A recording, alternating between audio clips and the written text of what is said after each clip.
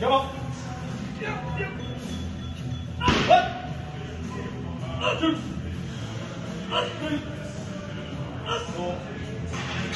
Five. Come on.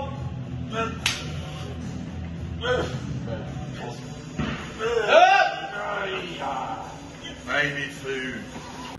One out. Get it. You gotta get it. Come on. Come on. Every time. Up, up, up. Did he get it? Did he get it? Of course I did. Oh. yeah. I like that. I love that. Ali Jawad, 32 kilo dumbbell presses, working on that vertical pressing. Big shoulders.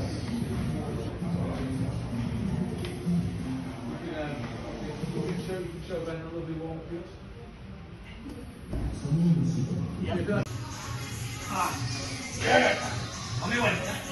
Come on. Show us. Come on. Come on. Get out. Ah. Let's see it. Come on. Ah. Ah.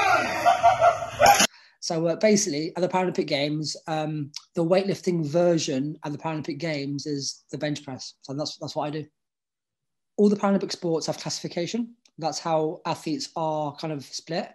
In para powerlifting, it's body weight only. So I compete against all the impairments, but we're kind of kind of in a body weight class. So my classes are between 54 and 59 kilo class. So um, yeah, we'll see where I qualify if I qualify.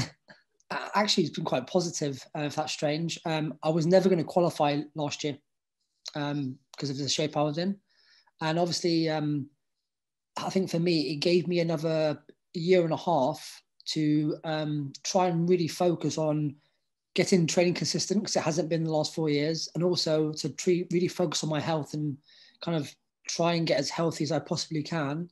Uh, obviously, I can't be 100%, but like just try and kind of hang in there uh, for another 16 months and kind of try to bridge that gap.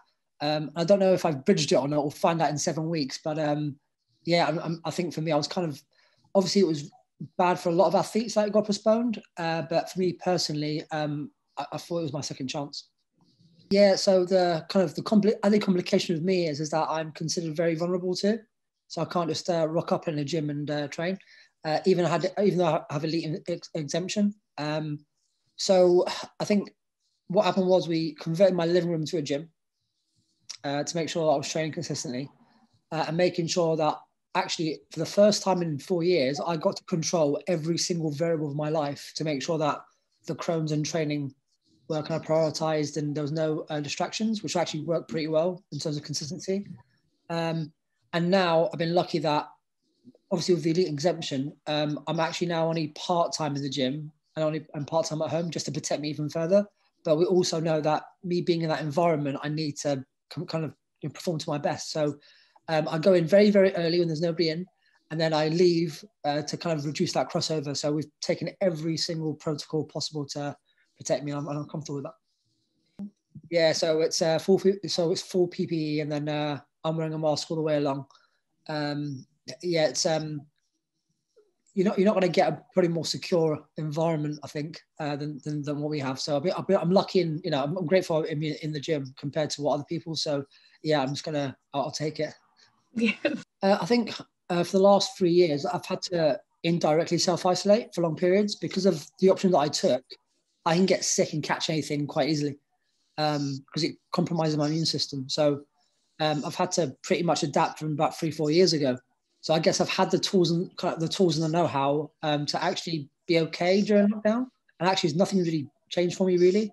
Uh, it's a little bit more intense than it was before, obviously. But um, for, for me, like what I needed to do this time was to actually go, well, you knew that this process was going to be uh, kind of to, it had to test your adaptability. And um, I knew that I had to be adaptable and flexible in my plan. And this is just another hurdle that I have to be adaptable to. So um, for me, it's nothing's changed. The goal's still the same.